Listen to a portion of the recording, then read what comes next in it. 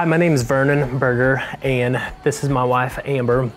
And we both together are co founders of His Voice Global and also members here at the Gathering. His Voice Global goes into areas of the world with high populations of vulnerable women and children, and we help find sustainable ways to raise up those children into leaders in their society. The Gathering is one of our partner churches, and so coming in October, on October 16th, we're going to come to the Gathering and we're going to share about all the Lord is doing through His Voice Global.